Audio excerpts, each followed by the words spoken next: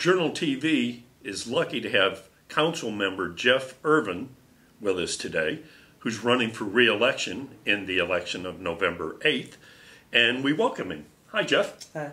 Tell us a little bit about your background. You're running unopposed this year, but you've been around Clifton Forge quite a while. Yes, sir. Uh, as everybody knows, if they know me, my name's Jeff Irvine. I'm running for re-election November the 8th election. I've lived in Clifton uh, forged my whole life, which is 54 years. I've worked here my whole life. I, I reside at 1261 Commercial Avenue with my wife Terry of 30 some years. I hope she don't hear that. That's an achievement in itself, isn't it? I've been on council for five years. I've um, worked for Alleghany Public School Systems as a custodian.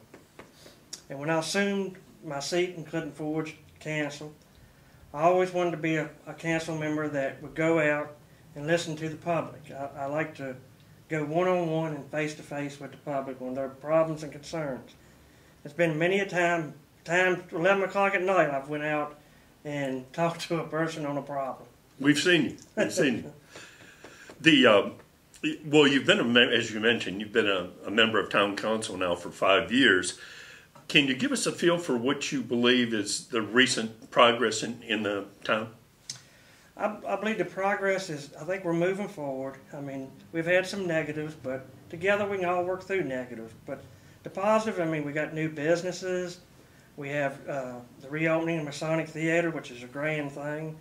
Uh, selling land to Kroger, the gas station, and selling the turntable, which we just did the other night to C&O Historical Society. That was impressive. That's another fifteen thousand dollars for the town.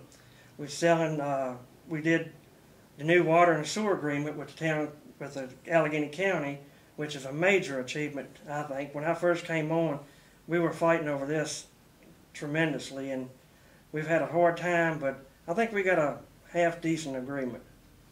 Do you have a formal set of positions or platform that you want the uh, town residents to know about? I want to just keep Clifton Forge moving forward. Uh, I think things are going in the right direction. Like like I've said, we've had some negatives with the water and sewer rate hike, which I voted no on, and I've had my reasons for voting no. I've always told the citizens of Clifton when I ran my first election that I would never be for a, a water or sewer raise, and I've stood by that vote and voted no every time. And I think we're going in a positive direction. We work together.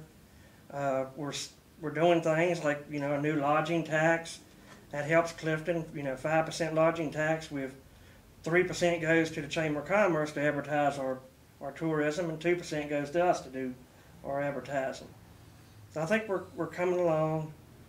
I hope that we see good things in the future. Uh, we've got some things planned. I can't say a lot about, but There are some secrets that council has. Can you give us your view on what should go on at the 13 acres once the road is built out near the Kroger site? Up above Kroger, I meant. Well, we know the gas station, the Kroger gas station, will go there. That's an impressive 1.4 million dollar project, as I understand. And I think that'll really help Clifton Forge. You know, I hope and pray that a lot of people will come off the interstate, you know, and get on, get here and come into town, get gas, maybe stop and eat, or, or you know, just look around and buy some something. But the 13 acres, I hope somebody would come in and make some offices, or I mean, it's good. Would be a good place for offices, professional offices. I know we don't have enough land to do uh, a factoring or or a big plant or anything, but something small. You got to start out small and work your way up, my opinion. And what what do you think might happen after all the buildings are torn down and asbestos is removed on the former CSX property? I would hope somebody would come in and, and take that land. It, it's it's a prime place right there outside the tracks, and It would seem so. yeah, and we've had some offers on it before. Nothing really panned out yet, but hopefully in the future something will. It, a big step is to tear it down and get just straight land out there. No old buildings, no dangerous stacks, and that that will help marketing it a lot.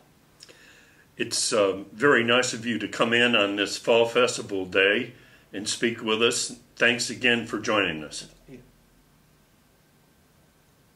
As we were finishing the interview, Mr. Irvine had a few more items he wanted to mention to the public. Jeff? I'd just like to say I, I appreciate all the voters of Clifton Forge for voting me in last time, and, and I respect your and very surprised over the majority of vote I got. I had 1,156 votes last election, and I'm very surprised and humbled by the number of votes. I'd just like to ask the voters to vote for me again on November the 8th, and I'll keep up the same way I've been doing council and the same concerns. I'll be there one on one. And let's just go out and beat that 1,156 votes this time. Thank you, and God bless. you. Thanks very much. Thank you.